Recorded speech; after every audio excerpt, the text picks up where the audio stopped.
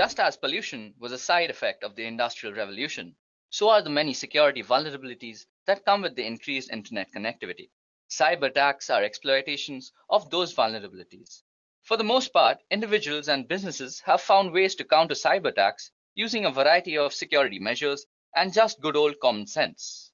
We're going to examine eight of the most common cybersecurity threats that your business could face and the ways to avoid them. So before we actually jump into the session, let me give you how the session will actually work. We are going to discuss the most eight common cyber threats. We're going to discuss in particular what they are, how the threat works, and how to protect yourself. Okay, so now let's jump in. Now, cyber attacks are taking place all the time. Even as we speak, the security of some organization, big or small, is being compromised. For example, if you visit this site out here that is ThreatCloud, you can actually view all the cyber attacks that are actually happening right now. Let me just give you a quick demonstration of how that looks like. Okay, so as you guys can see out here, these are all the places that are being compromised right now. The red parts actually show us the part that is being compromised and the yellow places actually show us from where it's being compromised from. Okay, as you guys can see now that someone from the Netherlands is actually attacking this place and someone from USA was attacking Mexico. It's a pretty interesting site and actually gives you a scale of how many cyber attacks are actually happening all the time in the world. Okay, now getting back, I think looking at all these types of cyber attacks, it's only necessary that we educate ourselves about all the types of cyber threats that we have. So these are the eight cyber threats that we're going to be discussing today. Firstly, we're going to start with malware. So malware is an all-encompassing term for a variety of cyber attacks, including trojans, viruses, and worms. Malware is simply defined as code with malicious intent that typically steals data or destroys something on the computer. The way malware goes about doing its damage can be helpful in categorizing what kind of malware you're dealing with.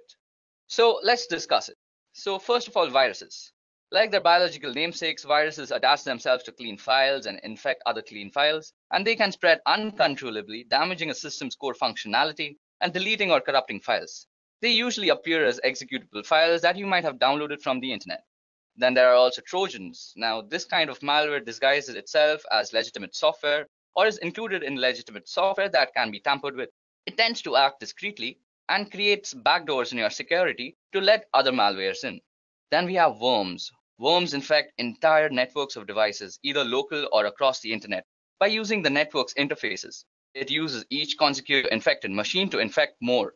And then we have botnets and such, where botnets are networks of infected computers that are made to work together under the controller of an attacker. So basically, you can encounter malware if you have some OS vulnerabilities, or if you download some illegitimate software from somewhere, or you have some other email attachment that was compromised with. Okay, so how exactly do you remove malware or how exactly do you fight against it? Well, each form of malware has its own way of infecting and damaging computers and data. And so each one requires a different malware removal method. The best way to prevent malware is to avoid clicking on links or downloading attachments from unknown senders. And this is sometimes done by deploying a robust and updated firewall, which prevents the transfer of large data files over the network in a hope to weed out attachments that may contain malware. It's also important to make sure your computer's operating system, whether it be Windows, Mac OS, Linux, uses the most up-to-date security updates. And software programmers update programs frequently to address any holes or weak points. And it's important to install all these updates as well as to decrease your own system weaknesses. So next up on our list of cyber threats, we have phishing. So what exactly is phishing? Well, often posing as a request for data from a trusted third party, phishing attacks are sent via email and ask users to click on a link and enter their personal data. Phishing emails have gotten much more sophisticated in recent years and making it difficult for some people to discern a legitimate request for information from a false one.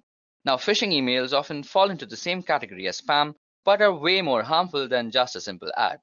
So, how exactly does phishing work? Well, most people associate phishing with email message that spoof or mimic bank, credit card companies, or other businesses like Amazon, eBay, and Facebook. These messages look authentic and attempt to get victims to reveal their personal information. But email messages are only one small piece of a phishing scam. From beginning to end, the process involves five steps. The first step is planning. The phisher must decide which business to target and determine how to get email addresses for the customers of that business. Then they must go through the setup phase. Once they know which business to spoof and who their victims are, phishers create methods for delivering the messages and collecting the data. Then they have to execute the attack, and this is the step most people are familiar with. That is, the phisher sends a phony message that appears to be from a reputable source. After that, the phisher records the information the victims enter into the web page or pop-up windows. And in the last step, which is basically identity theft and fraud, the phishers use the information they've gathered to make illegal purchases or otherwise commit fraud. And as many as a fourth of the victims never fully recover. So how exactly can you be actually preventing yourself from getting phished? Well, the only thing that you can do is being aware of how phishing emails actually work. So first of all, a phishing email has some very specific properties. So firstly, you will have something like a very generalized way of addressing someone like dear client. Then your message will not be actually from a very reputable source. So out here, as you can see, it's written as Amazon on the label, but if you actually inspect the email address that it came from, it's from management at maisoncanada.ca, which is not exactly a legitimate Amazon address. Third, you can actually hover over the redirect links and see where they actually redirect you to. Now, this redirects me to www.fakeamazon.com, as you can see out here. So basically, you know this is actually a phishing email, and you should actually report this email to your administrators or anybody else that you think is supposed to be concerned with this. Also, let me give you guys a quick demonstration on how phishing actually works from the perspective of an attacker. So first of all, I have actually created a phishing website for harvesting Facebook credentials. I simply just took the source code of the Facebook login page and pasted it and then made a backend code in PHP, which makes a log file of all the Facebook passwords that get actually entered onto the phishing page. Now, I've also sent myself an email as to make sure this looks legitimate, but this is only for spreading awareness, so please don't use this method for actually harvesting credentials. That's actually a very illegal thing to do. So let's get started. First of all, you'll go to your email and see that you'll get some email saying your Facebook credentials have been compromised. So when you open it, it looks pretty legit. Well, I haven't made it look all that legit. It should look legit, but the point out here is to actually make you aware of how this works. So as you guys can see, it says, Dear client, we have strong reasons to believe that your credentials may have been compromised and might have been used by someone else. We have locked your Facebook account. Please click here to unlock. Sincerely, Facebook Associate Team. So if we actually click here, we are actually redirected to a nice looking Facebook page, which is exactly how Facebook looks like when you're logging in.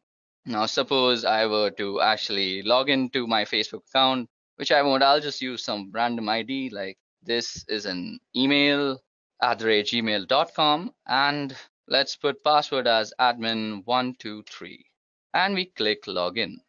Now, since my Facebook is actually already logged in, it'll just redirect to facebook.com and you might just see me logged in. But on a normal computer, it'll just redirect you to www.facebook.com, which should just show this site again. Okay, so once I click login out here, all that the backend code that I've written in PHP out here will do is that it's going to take all the parameters that I've entered into this website, that is my email address and the password, and just generate a log file about it. So let's just hit login and see what happens. So as you guys can see, I've been redirected to the original Facebook page that is not meant for phishing. And on my system out here, I have a log file. And this log file will show exactly, as you can see, I've fished out the email address. This is an email at gmail.com. And it's also showed the password that is admin123. So this is how exactly phishing works. You enter an email address and you're entering the email address on a phishing website, and then it just redirects you to the original site. But by this time, you've already compromised your credentials. So always be careful when dealing with such emails. So now jumping back to our session, the next type of cyber attacks we're going to discuss is password attacks. So an attempt to obtain or decrypt a user's password for illegal use is exactly what a password attack is. Hackers can use cracking programs, dictionary attacks, and password sniffers in password attacks. Password cracking refers to various measures used to discover computer passwords. This is usually accomplished by recovering passwords from data stored in or transported from a computer system. Password cracking is done by either repeatedly guessing the password, usually through a computer algorithm in which the computer tries numerous combinations until the password is successfully discovered. Now, password attacks can be done for several reasons, but the most malicious reason is in order to gain unauthorized access to a computer with the computer's owner's awareness not being in place. Now, this results in cybercrime, such as stealing passwords for the purpose of accessing bank information. Now, today, there are three common methods used to break into a password protected system. The first is a brute force attack. A hacker uses a computer program or script to try to log in with possible password combinations usually starting with the easiest to guess password. So just think if a hacker has a company list, he or she can easily guess usernames. If even one of the users has a password 123, he will quickly be able to get in. The next are dictionary attacks. Now, a hacker uses a program or script to try to log in by cycling through the combinations of common words. In contrast with brute force attacks where a large proportion key space is searched systematically, a dictionary attack tries only those possibilities which are most likely to succeed typically derived from a list of words, for example, a dictionary. Generally, dictionary attacks succeed because most people have a tendency to choose passwords which are short or such as single words found in the dictionaries or simple, easy predicted variations on words such as appending a digit or so. Now, the last kind of password attacks are used by keylogger attacks. A hacker uses a program to track all of the user's keystrokes. So at the end of the day, everything the user has typed, including the login IDs and passwords, have been recorded. A keylogger attack is different than a brute force or dictionary attack in many ways, not the least of which the key logging program used is a malware that must first make it onto the user's device. And the keylogger attacks are also different because stronger passwords don't provide much protection against them, which is one reason that multi-factor authentication is becoming a must-have for all businesses and organizations. Now, the only way to stop yourself from getting killed in the whole password attack conundrum is by actually practicing the best practices that are being discussed in the whole industry about passwords. So basically, you should update your password regularly. You should use alphanumerics in your password. And you should never use words that are actually in the dictionary. It's always advisable to use garbage words that make no sense for passwords as they just increase your security. So moving on, we're going to discuss DDoS attacks. So what exactly is a DDoS or a DOS attack? Well, first of all, it stands for distributed denial of service. And a DOS attack focuses on disrupting the service to a network, as the name suggests. Attackers send high volume of data of traffic through the network until the network becomes overloaded and can no longer function. So there are a few different ways attackers can achieve DOS attack, but the most common is the distributed denial of service attack. This involves the attacker using multiple computers to send the traffic or data that will overload the system. In many instances, a person may not even realize that his or her computer has been hijacked and is contributing to the DOS attack. Now, disrupting services can have serious consequences relating to security and online access. Many instances of large-scale DOS attacks have been implemented as a single sign of protest towards governments or individuals and have led to severe punishment, including major jail time. So, how can you prevent DOS attacks against yourself? Well, firstly, Unless your company is huge, it's rare that you would be even targeted by an outside group or attackers for a DOS attack. Your site or network could still fall victim to one, however, if another organization on your network is targeted. Now, the best way to prevent an additional breach is to keep your system as secure as possible with regular software updates, online security monitoring, and monitoring of your data flow to identify any unusual or threatening spikes in traffic before they become a problem. DOS attacks can also be perpetrated by simply cutting a table or dislodging a plug that connects your website server to the internet. So due diligence in physically monitoring your connections is recommended as well. Okay, so next up on our list is man-in-the-middle attacks. So by impersonating the endpoints in an online information exchange, the man-in-the-middle attack can obtain information from the end user and the entity he or she is communicating with. For example, if you are banking online, the man in the middle would communicate with you by impersonating your bank and communicate with the bank by impersonating you. The man in the middle would then receive all of the information transferred between both parties, which could include sensitive data such as bank accounts and personal information. So how does it exactly work? Normally, an MITM gains access through a non-encrypted wireless access point, which is basically one that doesn't use WAP, WPA, or any of the other security measures. Then they would have to access all of the information being transferred between both parties by actually spoofing something called address resolution protocol. That is the protocol that is used when you are actually connecting to your gateway from your computer. So how can you exactly prevent MITM attacks from happening against you? So firstly, you have to use an encrypted WAP, that is an encrypted wireless access point. Next, you should always check the security of your connection because when somebody is actually trying to compromise your security, he will try to actually strip down the HTTPS or HSTS that is being injected in the website, which is basically the security protocols. So if something like this HTTPS is not appearing in your website, you're on an insecure website where your credentials or your information can be compromised.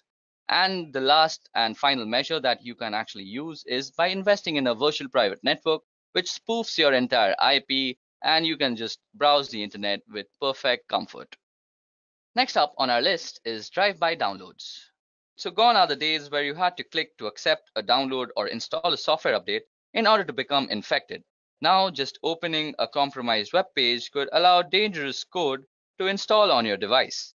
You just need to visit or drive by a web page without stopping or to click accept any software and the malicious code can download in the background to your device. A drive-by download refers to the unintentional download of a virus or malicious software onto your computer or mobile device. A drive-by download will usually take advantage or exploit a browser or app or operating system that is out of date and has security flaws. This initial code that is downloaded is often very small, and since its job is often simply to contact another computer where it can pull down the rest of the code onto your smartphone, tablet, or other computers. Often, a web page will contain several different types of malicious code in hopes that one of them will match a weakness on your computer. So how does this exactly work? Well, first you visit the site and during the three-way handshake connection of the TCP IP protocol, a backend script is triggered. As soon as a connection is made while the last ACK packet is sent, a download is also triggered and the malware is basically injected into your system. Now, the best advice I can share about avoiding drive-by downloads is to avoid visiting websites that could be considered dangerous or malicious. This includes adult content, file sharing websites, or anything that offers you a free trip to the Bahamas. Now, some other tips to stay protected include keep your internet browser and operating system up to date, use a safe search protocol that warns you when to navigate to a malicious site, and use comprehensive security software on all your devices like McAfee All Access and keeping it up to date. Okay, so that was it about drive-by downloads. Next up is maladvertising or malvertising. So malvertising is the name we in the security industry give to criminally controlled advertisements which intentionally infect people and businesses. These can be any ad on any site, often ones which you use as a part of your everyday internet usage, and it is a growing problem as is evident by a recent US Senate report and the establishment of bodies like Trust in Ads. Now, whilst the technology being used in the background is very advanced, the way it presents to the person being infected is simple. To all intents and purposes, the advertisement looks the same as any other, but has been placed by a criminal. Like you can see the mint ad out here, it's really out of place, so you could say it's been made by a criminal. Now, without your knowledge, a tiny piece of code hidden deep in the advertisement is making your computer go to the criminal servers. These then catalog details about your computer and its location before choosing which piece of malware to send you. And this doesn't need a new browser window and you won't know about it. So basically, you're redirected to some criminal server, the malware injection takes place, and voila, you're infected. It's a pretty dangerous thing to be in. So how exactly can you stop malvertising? Well, first of all, you need to use an ad blocker, which is a very must in this day and age. You can have ad blocker extensions installed on your browser, whether it be Chrome, Safari, or Mozilla. Also, regular software updates of your browser and other softwares that work peripheral to your browser always help. And next is some common sense. Any advertisement that is about a lottery that's offering you free money is probably going to scam you and inject malware too. So never click on those ads. So the last kind of cyber attacks we are going to discover today and discuss about is rogue software. So rogue security software is a form of malicious software and internet fraud that misleads users into believing that there is a virus on their computer and manipulates them into paying money for a fake malware removal tool. It is a form of scareware that manipulates users through fear and a form of ransomware. Rogue security software has been a serious security threat in desktop computing since 2008. So now, how does a rogue security software work? These scams manipulating users into download the program through a variety of techniques. Some of these methods include ads offering free or trial versions of security programs, often pricey upgrades, or encouraging the purchase of the deluxe versions. Then also pop-ups warning that your computer is infected with a virus, which encourages you to clean it by clicking on the program and then manipulated SEO rankings that put infected website as the top hits when you search.